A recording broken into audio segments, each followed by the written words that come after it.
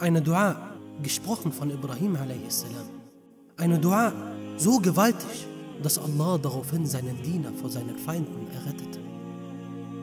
Es wird überliefert in Sahih Bukhari, dass der Prophet sallallahu alaihi wasallam sagte, Hasbunallahu wa ni'mal wakil, wurde von Ibrahim a.s. gesagt, als er ins Feuer geworfen wurde.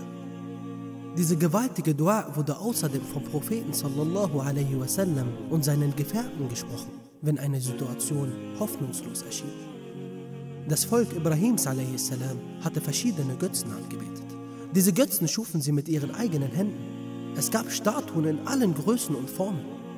Dies machte Ibrahim a.s. sehr traurig. Denn er war ein treu ergebener Diener Allahs.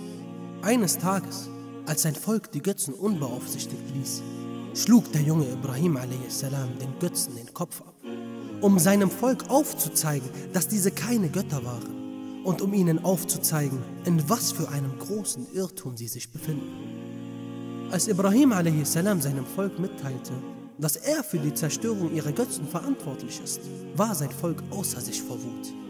Sie schmiedeten den Plan, Ibrahim a.s. zur Strafe bei lebendigem Leibe zu verbrennen. Dafür sperrten sie ihn ein und entfachten ein Feuer, welches sie drei Tage nährten, bis es ein gewaltiges Ausmaß angenommen hatte. Könnt ihr euch das vorstellen? Dieser edle Gesandte Allahs, eingesperrt und im Wissen darüber, bald bei lebendigem Leibe in ein gewaltiges Feuer geworfen zu werden. Was für eine schwierige Situation. Auch von seinem eigenen Vater konnte er keine Hilfe erwarten, denn er war einer der Götzendiener. Als die Zeit gekommen war und sein Volk seinen Plan vollendete und es für Ibrahim a.s. keinen Ausweg mehr gab und sie ihn schließlich ins Feuer warfen, sprach dieser edle Gesandte Allahs diese gewaltige Dua. Hasbunallahu wa ni'mal wakil. Als Ibrahim a.s. alles in seiner Macht Stehende getan hat, um die Botschaft Allahs seinem Volk zu verkünden und sich nun in einer Situation ausgesetzt sah, in der er nichts mehr tun konnte, hat Allah dem Feuer seine Eigenschaft des Verbrennens entzogen, sodass es kühl wurde und ein Segen für Ibrahim a.s. war. Das Wort Wakil im Arabischen bedeutet so viel wie Anwalt. Es heißt, dass man alles Mögliche auf dem Wege Allahs leistet, was man zu leisten vermag. Alles Mögliche tut, was in der Macht steht. Und alle Mittel, die Allah uns für halal erklärt hat, ausschöpft. Die Begrenztheit seiner selbst anerkennt. Und dann, am Ende, wenn man alles getan hat, auf Allah den besten Sachwalt, den Schöpfer von Himmel und Erde, dessen Möglichkeiten unbegrenzt sind, vertraut und ihm, subhanahu wa ta'ala, seine Angelegenheit übergibt. Nach dieser gewaltigen Dua Ibrahims a.s.